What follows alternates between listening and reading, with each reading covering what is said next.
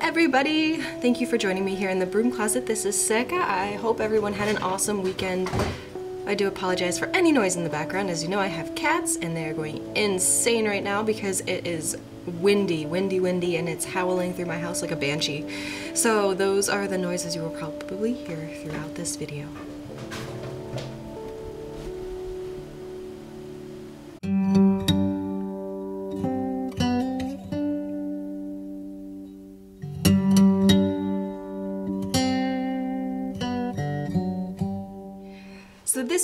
Promised, I didn't actually think I would get it done this weekend, but it happened. The Witch's Ladder that I was going to try to make, uh, that was inspired by quite a few different things. Ethan Yuan sent me a video a while ago because I was curious to know about witches ladders.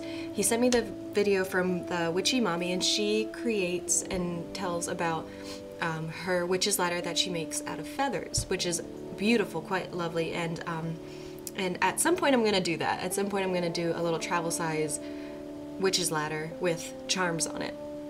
So he sent me her video because I am quite a big fan of the Viking show. And in this show, ever since season one, I noticed outside the um, the all-seeing oracle or like the, the medicine man outside his place and even some other buildings, there was a um, like roof to roof to floor cord of um, wood.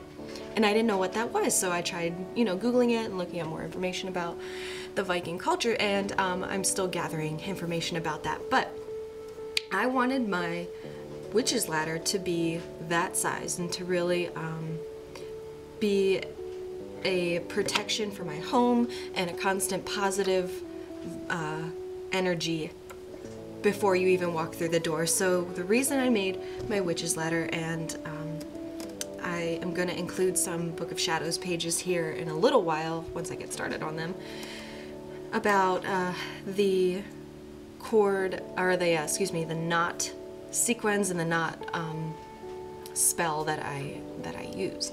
So I basically wanted to um, just re reinforce the already um, positive energy, the love, the unconditional understanding, and um, a happy hearth, happy home in my area, in my house, for my cats, for everybody who walks in. So I'm going to show you how I did it, but um, I have it sitting up here on my desk. I don't think I can show you bit by bit, but I ended up using uh, the driftwood that I found. Not all of it, I actually had extra, which was great. So at the base, I used one of my hagstones. Oh man, this is gonna be a bitch to try to hang up. So I used this one, the one, I, the one with the, uh, as you recall, the little divot in there. So on the bottom, this is pretty heavy too, my gosh. I hope it stands up because it's so windy. At the bottom, I have an uncle in Australia who sends me opal all the time. So down here at the bottom, I included a little opal charm because to me this kind of looks like the uh, all-seeing eye and um, you know to ward off a little bit of evil. So that's going to be my my grounding, my weight, and it's I, it's heavy. It is heavy I decided to use, um, not including the weight, I did nine knots. My phone is going off, I apologize. Nine knots, and in the center, the second charm I decided to use was a tiger's eye, and I actually ended up using that because of the other day, the video that I shot for the altar. Uh, I forgot I had it in, in my little camel bone jewelry box, so I used the tiger's eye for that. So let me skip ahead because I can't, I thought I could lift this up and show everybody, but um, I'm going to cut to how I made it and then at the end I'll show you when I hang it up. Thank you everybody for joining me and have a blessed week. Talk to you later. Of course. Here we go. So I had already cut the piece of twine that I was going to use and I am just showing you how I did that. I know from experience that you will always usually need more than anticipated, so I did twice the length of all the driftwood laid out.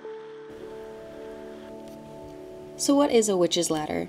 Usually it's small, you can put it in your pocket, your purse, backpack, and it's something you can take with you as a sort of meditation tool. The objects and number of knots are significant to the purpose that it's being used for, and people can use it for, as I said, meditation or ritual. Uh, as binding spell, and in my case, I used it as a symbol of protection and love harmony for my home.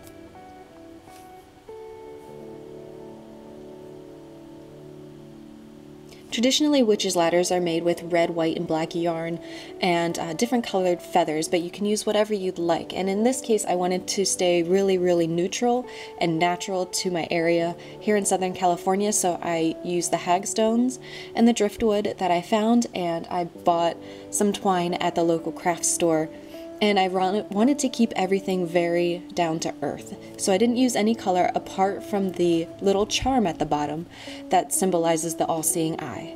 And that too is a natural rock found in the earth. As you'll see in this video, there's a lot of cat action happening here. They are very, very curious when I do projects, and I tend to do 90% of the projects on the floor because it's very spacious. And as each knot is tied, I'm really focusing on the intent and the goal. And as you make your own witch's ladder, the final knot, the ninth or 13th knot, all your energy should be directed into the cords, into the knots, and into whatever material you're using, whether that's feathers, driftwood, stones, charms. All the energy is literally stored within the knots of the witch's ladder. When you complete the string and add it all nine feathers, nine beads, whatever you're using. You could hang it like I'm going to hang mine, or even tie the two ends together to create a circle. Modern Wiccans and neo pagans use the witch's ladder primarily for healing, binding, and wish granting rituals. They can also be used to bind the 13 moons of the year together. Knot spells may be created for such diverse purposes as reducing pain, binding love, ensuring safe travel, or creating a peaceful environment for the home. The string or core can be made out of almost any material, but natural fiber such as hair, wool, hemp, or cotton are preferred.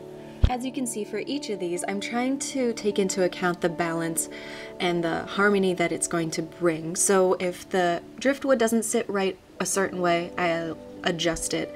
And I've had to uh, double up the knots on each other to make sure that it doesn't slide up and down the rope, that it stays nice and tight.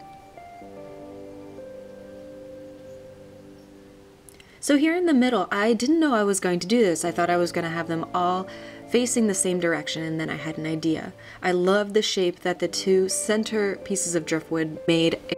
So for this idea, I went and I grabbed the tiger's eye my best friend had given to me.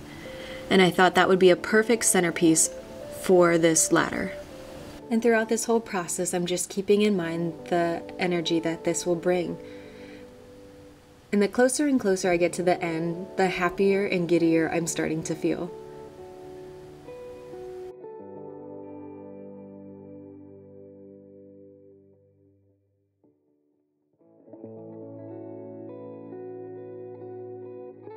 It can be really tricky doing crafts around cats, but I think that they bring an awesome character and an awesome energy to the project you're working on. So let them be a part of it.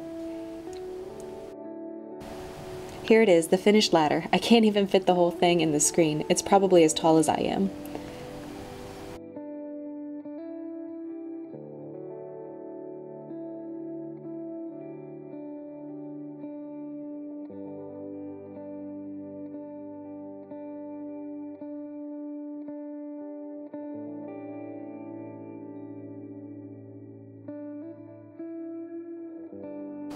Everyone, thank you so much for watching, and I will hopefully be able to hang this shortly. But from me to you, and from Loki to you, thank you for watching, everyone. Have a wonderful day.